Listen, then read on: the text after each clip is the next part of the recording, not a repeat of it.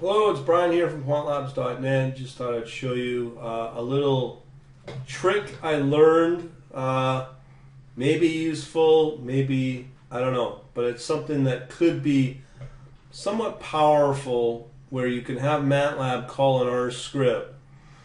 Now, there's various options to do this, but the one that seems to work right now the best, this is from a Stack Overflow query from 2011. Um, somebody asked how to do it. So basically, what happened was somebody said, "Well, use this command system and then the R command batch with the in file of the name of your R script and the output." Not the most intelligent way of doing it, but it works. Um, and I'm going to show you another way. I'll try to run it for you, um, and I'll show you why it doesn't work. I think if I could get it working, it would be the better option. But for now, let me just show you this Mickey Mouse uh, way of doing it. So I'm going to call a system command from within MATLAB, and I'm going to call the R command batch. Now, first thing you got to do is obviously put on install R, put on your system path if you're using Windows. In my case, uh, I've got here a little R script that I wrote. Um, and basically all it does just does a hello world thing. Cat, hello world. Um, and uh, when I run a command prompt, typically what you'll need to do is to uh, basically, um, just move to this folder. Alright. Alright, so there's my R, hello R script right here. Um, if I get rid of these output files as just examples, um, even this one, uh, I can run R, no problem. Actually, it's not recognized. Okay, let me try it that way. Just see what uh, folder I'm in. Uh, okay, so this should work. So if I run, so I got the um, the uh, command batch running on on my command line. Hello R, and then hello, I don't know, output or something. So it runs. So we'll create that little output file, which kind of looks like this. Um, uh, let me show you here. Nothing fancy, just runs a whole console output, but it does output the hello world. As I said, nothing fancy, right? Um, so that's working from within the console, but when I go into my uh, MATLAB, um, here's the hello I just showed you the R script.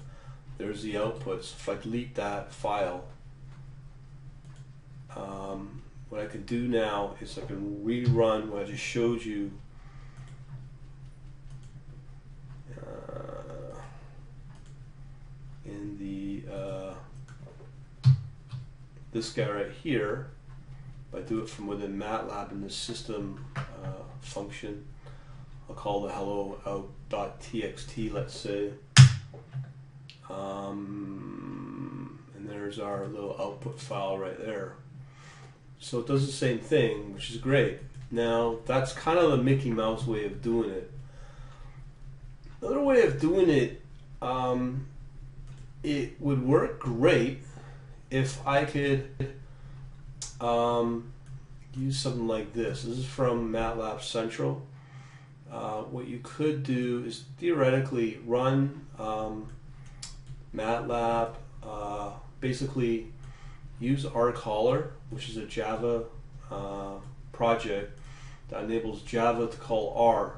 Um, so basically what you're doing is you download the file, the jar file, the Java archive file, which should be an executable from here and then from there what you do is you uh, have to also include in the uh, script, the MATLAB script, location of that jar file that you're going to download. So essentially, um, you're just going to download this jar file, the 2.11 snapshot.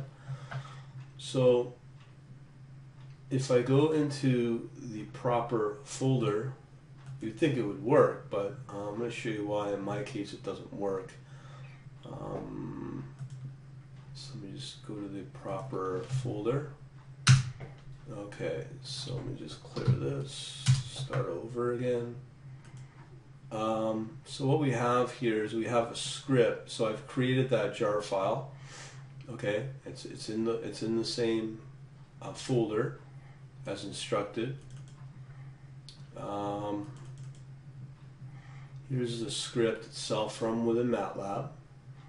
So as instructed, um, I basically add the location of where my uh, R executable is, which is essentially here. I'm using 3.2 of R, so I've included that path.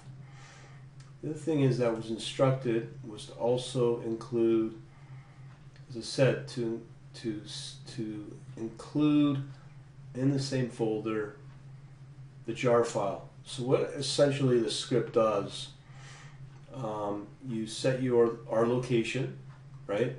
Blah blah blah goes through the usual code. This is where it gets interesting. A lot of people don't know this, but you can add Java class paths within your MATLAB session. With that, um, you any any any jar file it could find, you can actually directly call it. So here you can see within my MATLAB, I can actually get access and see all the applicable classes that are available from the Java jar file. That's very cool. Now theoretically, this should run uh, and be able to um, add it uh, and include it into the uh, workspace. Now, this is where it fails. So I add the Java add uh, path, right? Um, I import it. And then this, this line is where it fails, but it, uh, it should work. You see it's saying the RCaller is not available or can't, it's not defined. Now you can see here in the workspace. Now I have no idea what, why that is. Maybe it's public. I don't know. It's some stupid reason. Uh, but this would be the more intelligent way of doing it because you could use this script um, as well to uh, manipulate R from within your um, MATLAB script without doing that command batch file I showed you earlier. So two different options. Uh, there's some other projects you could kind of do this with through Java. Um, but from what I've seen, this is probably the only smart way of calling R from within Java.